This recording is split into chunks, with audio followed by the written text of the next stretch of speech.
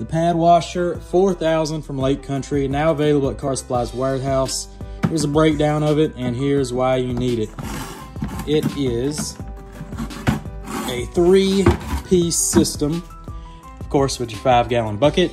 Then in goes this part, and this part is a secondary bucket.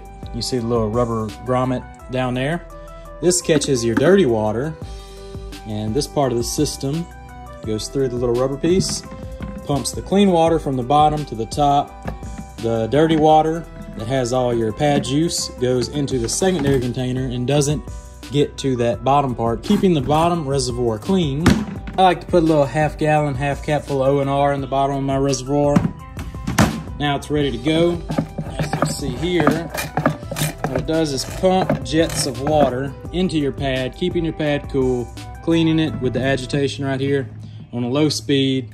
You can literally get around a vehicle with one pad on a paint enhancement or one step polish. It's a fantastic uh, system. I like it. It does get a little messy, as you can see over here on my trash can. Get a little splatter, but if you can control it, as you lift off the cleaning pad, it actually stays in the bucket pretty good.